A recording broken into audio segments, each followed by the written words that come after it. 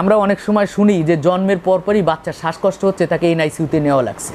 তাই না? এরকম কিন্তু আমরা আমরা দেখতে পারি। কারণ এখন চিকিৎসা শাস্ত্রের উন্নতির সাথে সাথে আমরা এনআইসিইউ তার মানে জন্মের পরবর্তী নিওনেটদেরকে আমরা ইন্টেন্সিভ কেয়ার মানে অতিরিক্ত কেয়ারের জন্য আমরা এনআইসিইউতে ভর্তি করি। তো একটা বাচ্চা জন্মের পরপরই যদি তার শ্বাসকষ্ট হয়, তাহলে সেখানে অনেকগুলা কারণ থাকতে পারে। একটা হচ্ছে মায়ের শরীর থেকেই তার কোন শরীরে কোনো ইনফেকশন ঢুকছে, অথবা দেখা গেল যে সে যখন ডেলিভারি হচ্ছে, তখনই তার শরীরে এমন কোনো সমস্যা হয়েছে যে শ্বাস নিতে কষ্ট হয়েছে, যার জন্য অক্সিজেনের অভাব হয়েছে এবং জন্মের পরপরই সে পর্যাপ্ত অক্সিজেন পাচ্ছে না, যার জন্য তার শ্বাসকষ্ট হচ্ছে।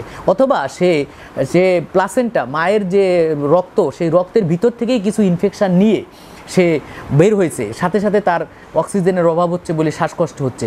অথবা জন্মগত ত্রুটি, তার লাংসটা ঠিকমতো তৈরি হয় নাই বা হার্টটা ঠিকমতো তৈরি হয় নাই বা কোনো ধরনের রোগে আক্রান্ত হয়ে আছে, তাহলেই কিন্তু জন্মের পর পরই একটা বাচ্চা যে শ্বাসকষ্ট নিয়ে আসতে পারে। এটা হলো জন্মের পর পরই কিন্তু জন্মের তারপরে যদি দেখা যায় যে বাচ্চার শ্বাসকষ্ট হচ্ছে, তাহলে আমরা ধরে নিতে হবে যে বাচ্চার কোনো ধরনের রোগ আছে। যেমন অনেক সময় খাদ্যনালীটা যদি দেখা যায় ফুসফুসের উপরে ঢুকে যায় কোনো কারণে, এখানে একটা আমাদের একটা ডায়াফ্রাম থাকে ডায়াফ্রামটা যদি দুর্বল থাকে, তাহলে পেটের নাড়িটা শ্বাসযন্ত্রকে যে চাপ দিলে, সেখানে শ্বাসকষ্ট হতে পারে। এটা অনেক সময় মনে হয় যে থেকে থেকে চলে যাচ্ছে, আবার হচ্ছে।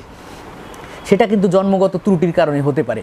আবার দেখা যাচ্ছে যে একটা কমন অসুখ আছে, সেটাকে আমরা বলি ব্রঙ্কিওলাইটিস যেটা শিশু বাচ্চাদের হয়। সাধারণত দুই মাস থেকে ছয় মাস বা এক বছরের বাচ্চাদের ঘন ঘন ভাইরাসজনিত কারণে ঠান্ডা লেগে যায়, ঠান্ডা লেগে হঠাৎ করেই শ্বাসকষ্ট হয়ে যায় এবং চিকিৎসা করলে সে ভালো হয়ে যায়। কিন্তু অনেক সময় চিকিৎসার অভাব হলে কিন্তু সেটা অক্সিজেনের অভাবে সেটা বিভিন্ন ধরনের লিভার মানে লাংস ফেলিওর হয়ে কিন্তু পেশেন্টের মারাও যেতে পারে।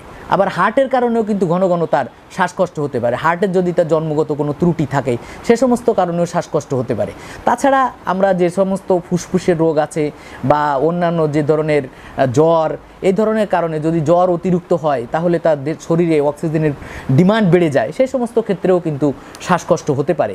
তবে টুকটাক শ্বাসকষ্ট হলে আমরা বলি প্রাথমিকভাবে যে ভাইরাস ইনফেকশনের কারণে হালকা হয়তো হতে পারে, সেই ক্ষেত্রে চিকিৎসা করলে দ্রুত নিরাময় হয়ে যায়। কিন্তু কোনো শ্বাসকষ্ট যদি বারবার হতে থাকে বা নিরাময় না হয়, তাহলে আমাদের ধরে নিতে হবে তার শরীরে জটিল কোনো রোগের আকার ধারণ করছে, যেটা পরীক্ষা নিরীক্ষা সাপেক্ষে বিশেষজ্ঞের পরামর্শ নিয়ে সে রোগ নির্ণয় করতে হবে এবং তার সঠিক সুরাহা করতে হবে।